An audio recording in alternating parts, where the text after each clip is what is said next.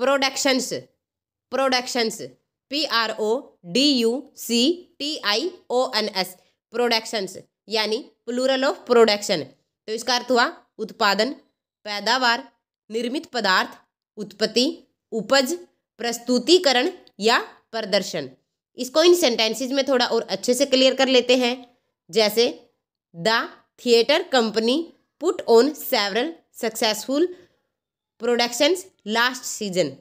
The theatre company put on several successful productions last season, यानी कि theatre company ने पिछले सीज़न में कई सफल प्रस्तुतियों का मंचन किया।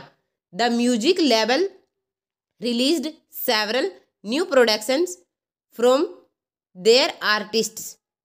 The music level released several new productions from their artist यानी कि संगीत लेबल ने अपने कलाकारों की कई नई प्रस्तुतियों को रिलीज़ किया। उम्मीद है आपको वीडियो पसंद आई होगी। चैनल को लाइक शेयर सब्सक्राइब करना बिल्कुल मत भूलिएगा। अपनी इंग्लिश को और ज़्यादा बेहतर बनाने के लिए चैनल के होम पेज पर हज़ारों वीडियो है, जिन्हें जाकर आप देख सकते हैं।